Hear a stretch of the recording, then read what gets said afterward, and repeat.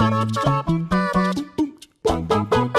You know it's a great feeling? Sinking hundreds of hours of your life into a TV show only for the story to drop the ball on the final hurdle and leave you saying, seriously, was that it? I'm looking at you, Lumberjack Dexter. Now, of course, it doesn't take away from the joy you had along the way, but a bad ending is going to be the last thing you remember from that treasured show. So if creators could keep the Starbucks cups out of our high fantasy epics, that'd probably help. I'm Jess for WhatCulture, let's talk 10 TV shows ruined by horrible endings. Spoilers ahead, so beware. Number 10, Lost. Why is this one up so high, I hear you ask? Isn't it universally acknowledged to be a pretty bad ending? Well, yes, but it does have its fans, so I put it at the top of the list. So if you in particular liked this ending, you can tell your friends that it only just scraped it into WhatCulture's horrible endings list. Notorious for its loose threads and unwillingness to provide answers to fans' burning questions, Lost's showrunners doubled down in the finale and handed loyal viewers what we probably should have been used to receiving by that point a bunch more questions. The main storyline played out alongside a convoluted flash sideways timeline that had audiences arguing about whether the characters were dead all along, as the show rounded up with the characters in a church waiting for a bright light. The creators later confirmed this wasn't the case, and the point of the show was to tell a story about people in search of answers. Pretty sneaky way of getting out of ever explaining the point of those numbers, if you ask me. Number 9.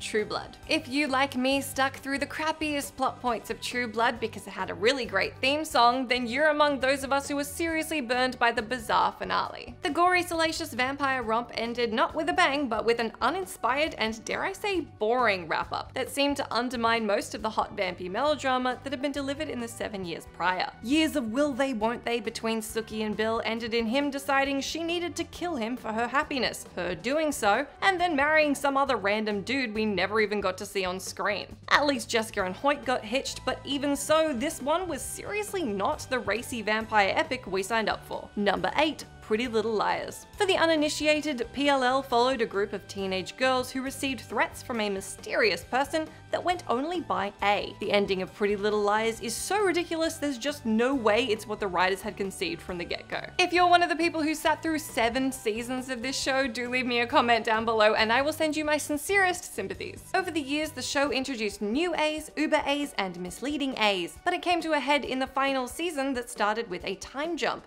Never a good start. It was ultimately revealed that the Grand Mastermind was a character who had never been on the show before. Not only that, A turned out to be main character Spencer's evil British twin, complete with bad British accent. Seriously, you can't make this stuff up. Well, the creators of Pretty Little Liars did. They should not have. Number 7. Scrubs. Plenty of us have chosen to collectively forget Scrubs' awkward fall from grace. The show actually ended three different times between swapping networks and the injection of new cast members during its ninth and final season, with each ending getting progressively worse. The official ending though came in its ninth season that was branded Scrubs Med School. The Scrubs charm left with almost all the main characters, and while the performances weren't awful, it all just felt like a weird university production of the beloved sitcom. As a result, the unsatisfying ninth season finale largely focused on a bunch of characters we pretty much just met, and the show had well and truly outstayed its welcome. Anyway, if we can all agree that JD walking down the hallway out of Sacred Heart, imagining that he's seeing all of the characters that had impacted his life was the actual ending of Scrubs,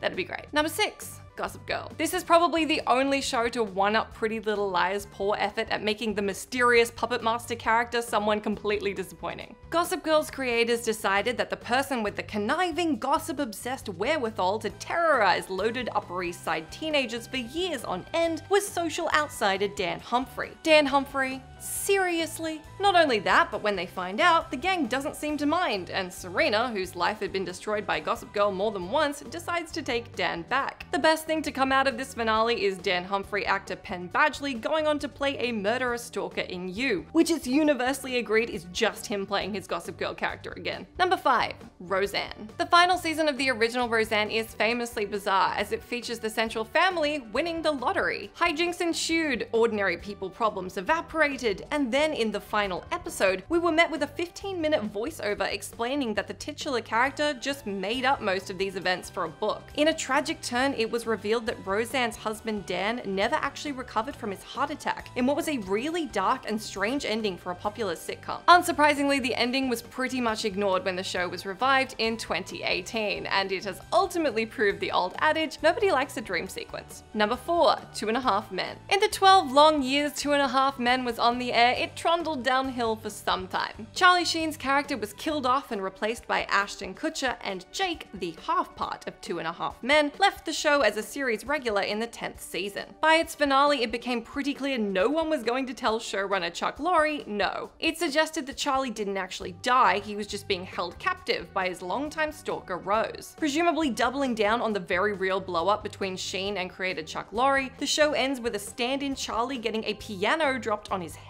We then cut to Chuck Lorre himself, who says Sheen's catchphrase, winning, before also being crushed by a piano. It all came off a little mean-spirited, and it was a pretty ugly way for it all to go down for everyone involved after 12 long years. Number 3. How I Met Your Mother. How I Met Your Mother is pretty solidly in the top 3 most hated series finales, probably because it dragged us along for 9 years about who this mysterious mother was, and then it ended up not mattering at all. Kristen Milioti was a perfect casting choice, and shockingly actually did live up to the ethereal, perfect figure the mother had been built up to be. Unfortunately, as soon as she gets together with Ted, the show zaps ahead in time and kills her off. To add insult to injury, the entire last season centered around Barney and Robin's relationship and wedding, which was all thrown to the wayside by the finale. That said, the reason I do love this ending is the conceit that the only reason Ted is telling this entire story to his kids is so he can get the go-ahead to go bone Robin. That's hilarious. Number two, Dexter. Conversely, this one just bums me out. Dexter was a fantastic show featuring a really compelling protagonist